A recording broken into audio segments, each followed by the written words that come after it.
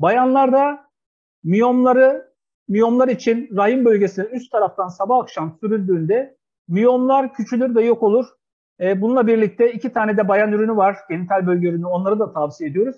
Ve ameliyat olmasına bayanın gerek kalmaz. Rahimin alınmasına gerek kalmaz. Propolis krem, propolis dahil 10 tane bitki ekstraktan oluşan özel bir formül.